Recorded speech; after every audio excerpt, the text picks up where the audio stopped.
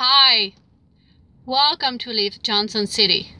When you're ready to sign up with Lyft, go to my video link below this video to get your maximum driver referral bonus. You will also receive one-on-one -on -one training. Contact me if you have any question. Thank you.